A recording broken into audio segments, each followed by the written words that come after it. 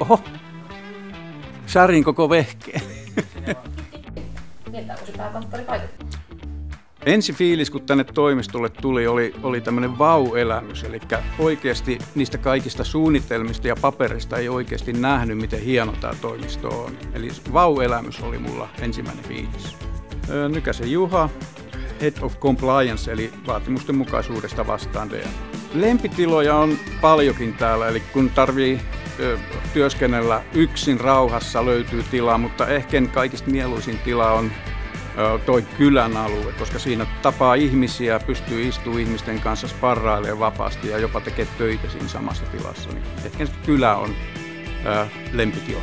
On todella hienoa, että DNA on uskaltanut ottaa mukaan suunnitteluun DNAn työntekijöitä, koska se osoittaa luottamusta työntekijöitä kohtaan ja sillä ollaan saatu aikaiseksi näin hyvät työtilat, mihin DNAlle on ilo tullut.